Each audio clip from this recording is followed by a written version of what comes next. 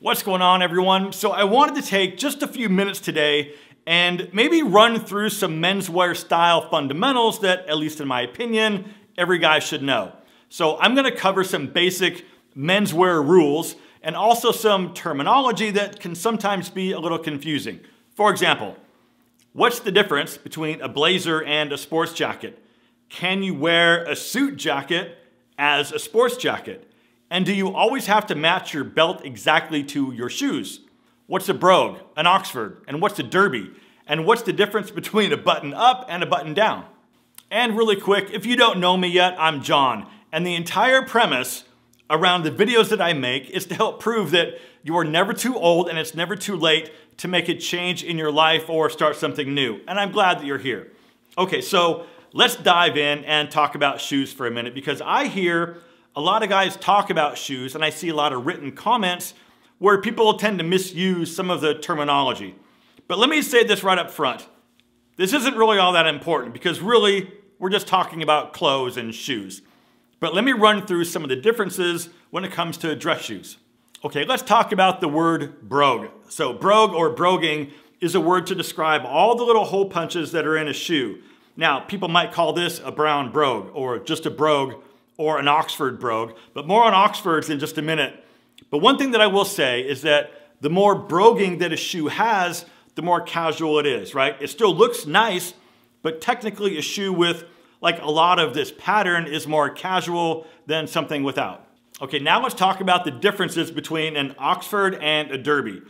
And in order to keep this simple and not get into too much about shoe construction, this is an Oxford and this is a Derby.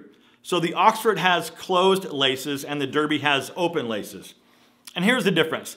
As you can see in the Derby, I can put my finger all the way up underneath these pieces of leather where the laces go, all the way up to the top of the tongue, right? This is all one piece of leather that also includes the tongue.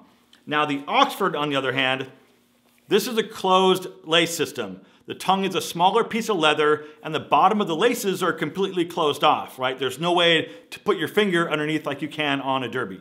Now, technically, you could really call either one of these a brown brogue, but the derby is this wingtip design and the Oxford is this cap toe design. Now, they both have this kind of cool medallion design on the toe, and generally speaking, an Oxford is always going to be more formal than a derby. So if you're wearing a suit or something like super dressy, the Oxford would be the better choice. If you're wearing something casual or smart casual or slightly dressed down, the Derby would be your better choice. Now, since we're talking about shoes, let's talk about matching your belt to your shoes. And the question is, should you always exactly match your belt to your shoes? And the answer is kind of a yes and no. Let me explain. If you're dressed formally or wearing a suit, for example, the answer is yes. You should be as close as possible with the color and the material. But if you're dressed more casually, you can get away with a less perfect match. Let me show you some examples. Okay, here's some blue trousers with the same brown Oxfords that I showed a minute ago. The belt matches pretty darn close, if not exact. Now, if I wanted to swap out the shoes for maybe something darker, the belt would need to get swapped out to match the darker brown shoes. But let's say you're dressing more casual and maybe you're just gonna wear some boots. The belt should still match as closely as possible, but it doesn't necessarily have to be a perfect match. But the color family should still be relatively close. Now let's say you're wearing jeans with white sneakers. This is my go-to belt. And if you're curious, all the belts I'm showing today are from Anson Belt and Buckle. Anson is sponsoring today's video and the owner, David, runs an amazing family-owned business with customer service at the forefront of what they're all about. And let me just say, every single belt in my closet right now is from Anson Belt and Buckle. And what makes these belts special is this track system with these quarter inch micro adjustments so you always have the perfect fit, even after having all that pasta. The belts come super long, and then you cut it with a regular pair of scissors to fit your waist. They come in a ton of different colors and materials like leather, suede, and canvas, and you can choose your own buckle because they're all interchangeable. And they've got some really cool brand new designs. Anson Belt also has a great email sign up where you'll get notified of complete belt flash sales at up to like 20% off. However, if you join the Anson Text Club, you'll get those same notifications for 30% off. Now they also have a high-end Premier collection that features genuine crocodile and Italian calfskin. Now those are gonna be a little more expensive, but still very reasonably priced for being true exotic materials made right here in the USA. Now occasionally they will have sales on that collection, so you gotta be sure to sign up for their email list. And for a limited time, they're running a special just for this audience.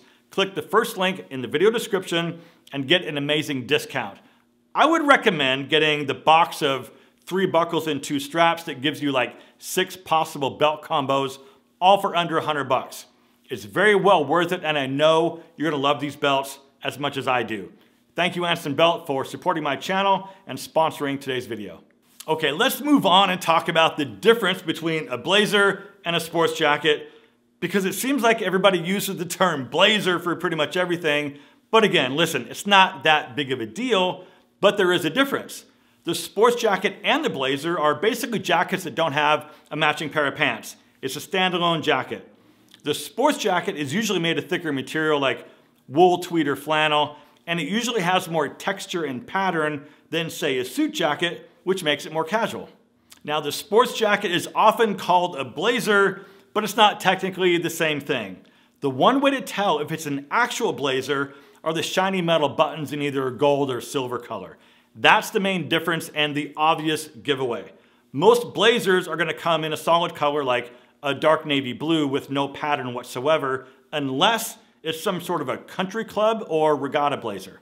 Okay, so let's talk about the suit jacket for just a second and answer the question, can you wear a suit jacket in a casual setting like you would a sports jacket?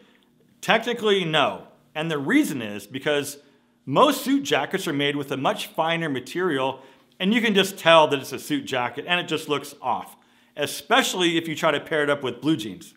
And really quick, one last thing about jackets. Don't forget to cut the little tack stitch on the back vents. It's a very thin thread and it's there to keep the fabric pieces in place during transit and it's your job to cut that when you get it home. So cutting the vents open allows the jacket to fit you better when you move around and sit down. Also, if there's a brand label on the sleeve, that needs to be cut off also. And one last thing that needs to be cut, the breast pocket and the side pockets. These are normally gonna come stitched closed, but they need to be cut open when you get it home. Now, if you're buying a jacket from a menswear store, ask them to remove the stitching for you.